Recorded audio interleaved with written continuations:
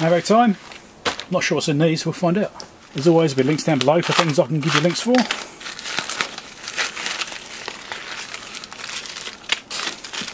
LEDs. Dual cut LEDs. I'm guessing these are red and green. I actually don't remember what I purchased. The different types as well. different number here, but the numbers here and here are the same. So, I don't know. One and two, two and two. Yeah, maybe it's the same. Probably all the same. So I was modifying some things the other day. These little charger things like this. This is for the Baofeng radios. I was playing around with it and I was trying to put in like a battery management controller in there and things like that. And I was going to change the LEDs. And I realised I didn't actually have any dual colour 3mm or 5mm LEDs. I thought I'd better get some because I don't have any. It's nothing like trying to do a project and working out you don't actually have something. Having to wait for it and order it and everything. Just annoying. That's why I haven't got any room left. SDO5 CRMA, B minus, B positive, G, V1. I think these might be charge controllers for lithium cells. That's what I think they are. Can you get numbers off those chips? There you go, you can just see this now. I don't know, I can't see what they are. Can you see that there? I think it says CH31 something. Not easy to get the numbers off these. It's CN3163, so I can just see it now. I have to get the light just right. No, maybe that'll help, I don't know. But I'm pretty sure these are charge control ICs. I think it was going to go with these. Anyway, never mind.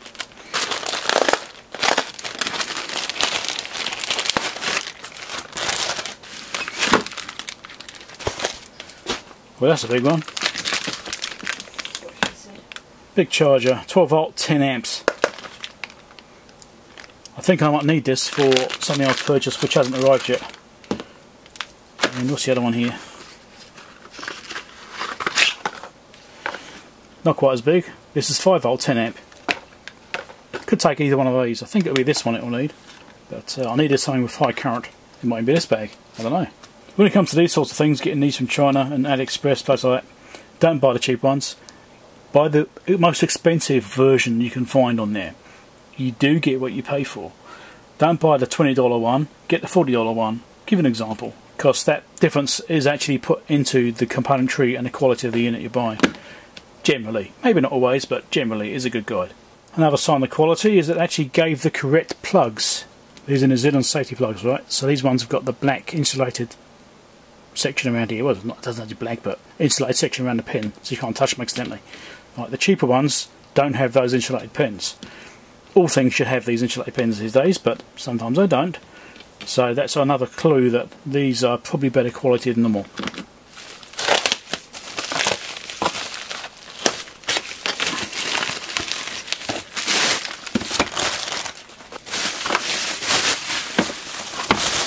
Was looking promising. It is what I was hoping it was going to be. So it came with a charger, rather small charger, lightweight, 5 volt, 3 amps. And this is the charger. So it says 5 volt 3 amps on the bottom here. This is for the Baofeng radios. So you can charge up six radios at once, stack them in, and you can see what's going on. Power switch on the side, that's nice. But I didn't want to rely on these little basic chargers. Well, I don't trust these things, and as you can see, it's also got the wrong pin out. Right, this is not a New Zealand plug. It's alright voltage. These things are universal these days, but it doesn't weigh very much. I certainly don't trust the quality of that. Um, and I wanted something a bit more robust. It doesn't have any feet installed, which is funny. This is why I've got these chargers, because I wasn't quite sure which voltage it's going to be. Ah, oh, look at this. The cheeky buggers, look, they've got a different adapter on it. It's not a 2.1 mil, it's something else. Ugh. What's the pin out? It's centre positive at least, that's something. Hmm. So I can't plug one of these straight onto it because it's got a different plug. That requires some adaptation. So I'm going to have to open this thing up and swap that connector out. It's not a big deal. Actually, it might be, I haven't got any. I did order some, they haven't arrived yet. Hmm. But anyway, this is for the radios we use at events. Which I've shown in a previous mailbag. I showed that stuff before. They come with these little individual chargers. They actually come supplied with these, right? So you do actually have chargers for them. Yeah, probably use six radios at a time generally. Sometimes we'll use more than that. And so I needed a big multi-way charger, so I'm just, you know, at the end of the day, chuck them in, charge them up ready for the next day, all in one go without messing around with individual chargers and, you know, cycling through each one. This means you can charge up all of them at once. Now, one thing that does bother me a little bit, it says 3 amps. The thing is, these do charge a higher current than 3 amps. Well, combined, they are about an amp each. So I think they need about 6 amps, really, if you're doing fast charging. So I don't know, maybe it's got the charge protection circuitry will limit that, I don't know, but I'll give us a go. We actually got into event soon, so I'll be using it this weekend and try it out. Fortunately, I'm going to to use this charger. not keen on that, but uh, that's why there are death adapters. Seriously, only ever use these as a last resort. Don't use them long term. These things are dangerous. That's why they call death adapters by Big Clive. Hey Clive, I know you watch my videos sometimes.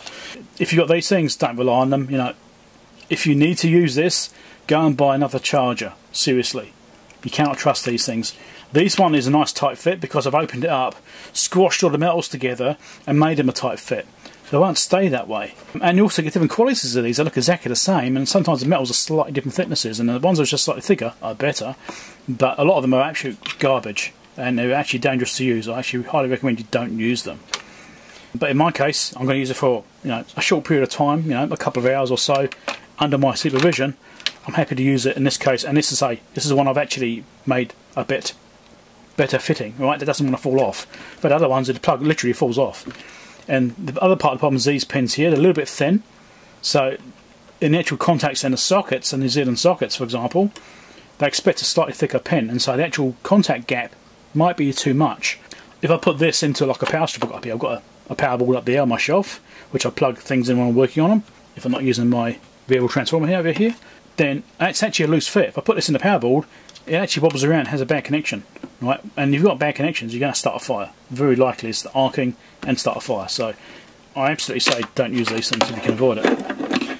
But um, obviously I've got these chargers, but they're not quite going to do the job because I've got the wrong socket on them. Why would they use an on-standard socket? Buggers. Anyway, that's fine. I can deal with that change it on here and I can use one of those well the 5 volt one because that's what it requires so 10 amp 5 volt power supply plenty of grunt for this thing that'd be great. I won't be stressing anything. I always over spec things so I was expecting about 5 amps maybe 6 top for this thing which is why I got a 10 amp charger. So it's got plenty of headroom it's not being stressed to the max. You don't want that. Check out the other videos down below. Subscribe over there if not subscribed already. Patreon support link over there. If you want me to buy more charger stuff so I don't burn my house down. Yeah, it should be fine. What could possibly go wrong?